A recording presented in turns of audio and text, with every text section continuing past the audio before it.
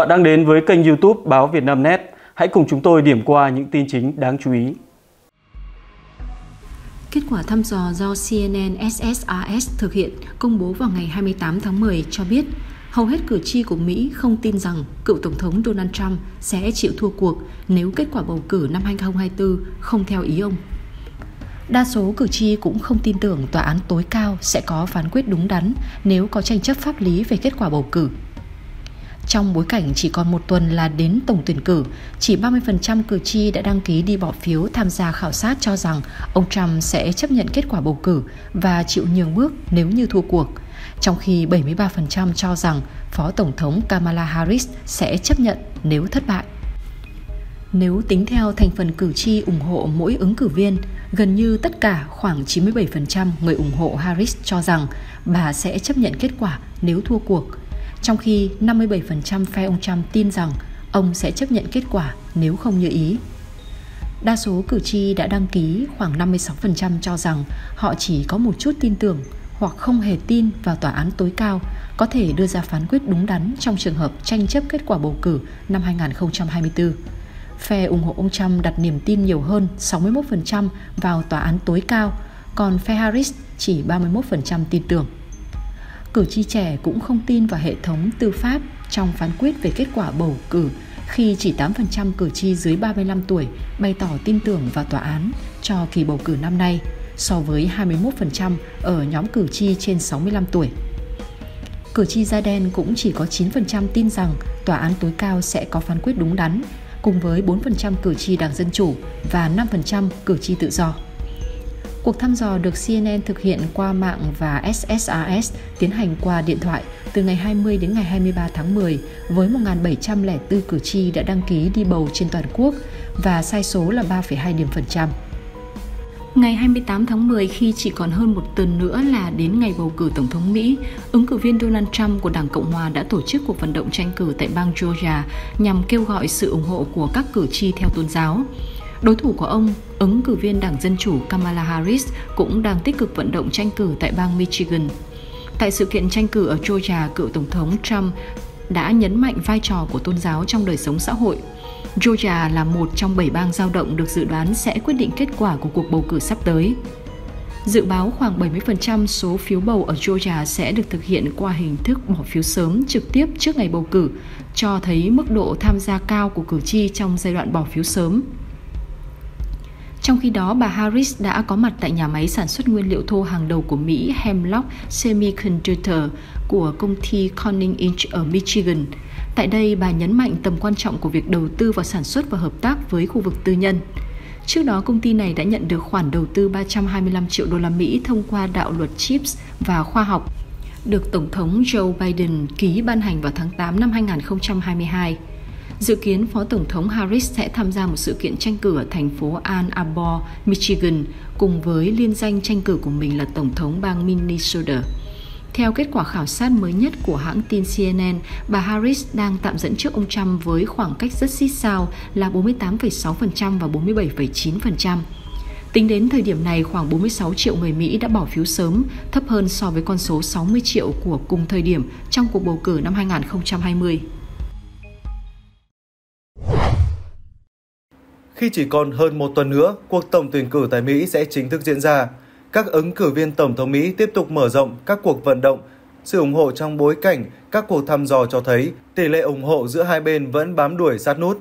Ngày 27 tháng 10, ứng cử viên của Đảng Cộng hòa Donald Trump đã có một sự kiện rầm rộ tại đấu trường Madison Square Garden, nổi tiếng ở thành phố quê hương New York của ông.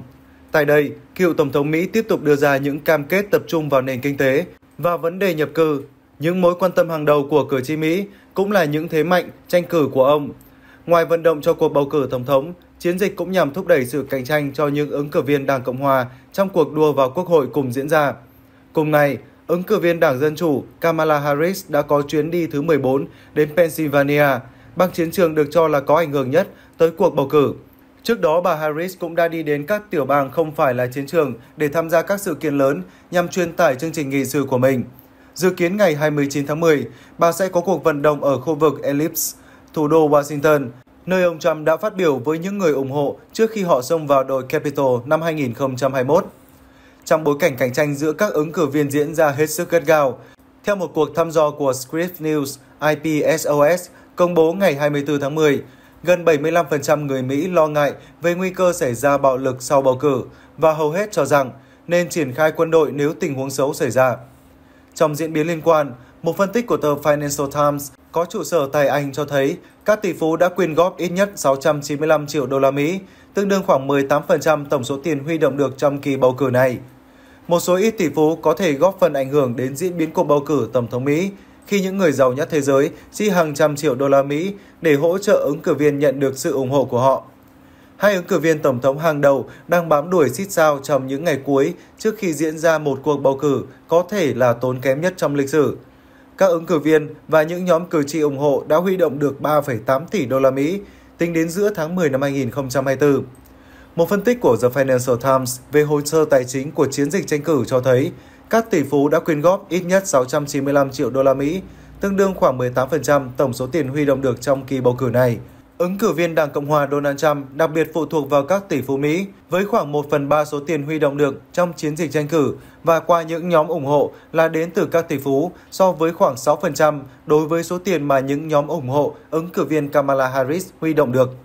Nhìn chung, ít nhất 144 người trong danh sách khoảng 800 tỷ phú Mỹ do Forbes tổng hợp đang dùng tài sản của mình để đóng góp vào cuộc bầu cử Tổng thống Mỹ năm 2024. Khoảng 127 triệu đô la Mỹ, tương đương khoảng 6% nguồn tài trợ cho bà Kamala Harris là do các tỷ phú quyên góp, một tỷ lệ nhỏ hơn so với ông Trump. Trong khi đó, các nhóm ủng hộ ông Trump đã nhận được ít nhất 568 triệu đô la Mỹ từ những tỷ phú, hay khoảng 34% trong số tiền mà chiến dịch vận động tranh cử của ông Trump đã huy động được. Khoảng 432 triệu đô la Mỹ trong số này chỉ từ 4 nhà tài trợ. Vợ ứng cử viên Đảng Cộng hòa Donald Trump, bà Melania Trump, đã có bài phát biểu hiếm hoi trong sự kiện tranh cử được tổ chức hôm ngày 27 tháng 10 theo giờ của Mỹ tại New York. Theo tờ The Hill và CNN, bà Melanie vốn không nằm trong danh sách những người lên bục phát biểu trong sự kiện tranh cử được tổ chức tại nhà thi đấu quảng trường Madison ở thành phố New York. Do vậy, sự xuất hiện và bài phát biểu không nằm trong lịch trình của bà Melanie đã gây nhiều bất ngờ cho những người tham gia sự kiện lần này. Bà Melanie phát biểu trong nhiều thế hệ, thành phố New York đã sản sinh các nhà lãnh đạo can đảm nhất nước Mỹ, những người đã tạo dấu ấn thay đổi tiến trình của cả thế giới. Hãy cùng nhau tiến lên với tầm nhìn chung được xây dựng trên sự vĩ đại của nước Mỹ. Hãy nắm bắt khoảnh khắc này và tạo ra một đất nước cho ngày mai, tương lai mà chúng ta xứng đáng có được. Sau khi hoàn tất bài phát biểu, bà Melanie đã giới thiệu chồng mình là ứng cử viên Cộng hòa Donald Trump trước đám đông có mặt tại sự kiện tranh cử. The Hill cho biết sự kiện tại nhà thi đấu quảng trường Madison ở thành phố New York hôm 27 tháng 10 đã đánh dấu lần đầu tiên bà Melanie phát biểu từ khi ông Trump tham gia tranh cử Tổng thống Mỹ 2024. Trước đây, bà Melanie hầu như không tham dự bất kỳ sự kiện vận động công khai nào cùng chồng. Trong chương trình phát thanh Joe Rogan Experience phát sóng ngày 26 tháng 10, cựu Tổng thống Donald Trump khẳng định nhiệm kỳ đầu tiên lãnh đạo Nhà Trắng của ông tuyệt vời. Song ông cũng chỉ ra giai đoạn đó có thể còn tuyệt vời hơn nữa nếu như đội ngũ vây quanh ông là những người khác. Ông bày tỏ, sai lầm lớn nhất mà tôi đã mắc phải là tôi đã chọn một vài người bản thân không nên chọn. Khi người dẫn chương trình hỏi liệu ông Trump có đang nói về những người tân bảo thủ hay không, cựu Tổng thống đáp lời ám chỉ đến cựu tránh văn phòng Nhà Trắng John Kelly. Đúng vậy, những thành phần tân bảo thủ, những kẻ xấu xa, những kẻ không trung thành. Hiện nay các bạn đang đọc một chút thông tin về chúng, một kẻ như Kelly hay bắt nạt nhưng yếu đuối. Trả lời một số cuộc phỏng vấn gần đây, ông Kelly quả quyết. Trong thời gian tại nhiệm, ông Trump từng ca ngợi chùm phát xít Hitler và nói hơn một lần rằng nhà lãnh đạo khét tiếng của nước quốc xã đã làm một số điều tốt. Mặc dù đội ngũ của ông Trump đã thẳng thừng phủ nhận thông tin này, nhưng ứng viên tổng thống của Đảng Dân Chủ Kamala Harris đã dựa vào đó để cáo buộc đối thủ Cộng hòa là phát xít. Theo đài RT, trong chương trình phát thanh Joe Rogan Experience, ông Trump cũng thừa nhận một lựa chọn sai lầm khác của mình là bổ nhiệm John Bolton, một chính khách theo đường lối diều hâu làm cố vấn an ninh quốc gia. Ông Trump kể rằng ông ta là một kẻ điên rồ và mỗi lần tôi phải đối phó với một quốc gia, khi họ nhìn thấy kẻ điên rồ này đứng sau tôi, họ đều nói Ôi trời, ông Trump sẽ gây chiến với ông ta mất thôi. Bolton đã ở bên Tổng thống George Bush khi họ dại dột tiến vào Trung Đông năm 1990. Họ không bao giờ nên làm điều đó. Tôi từng nói như vậy với tư cách là một dân thường.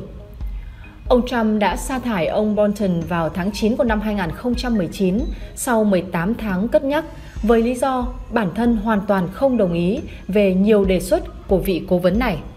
Nội dung vừa rồi cũng đã kết thúc bản tin của báo Việt Nam Net. Xin kính chào tạm biệt và hẹn gặp lại.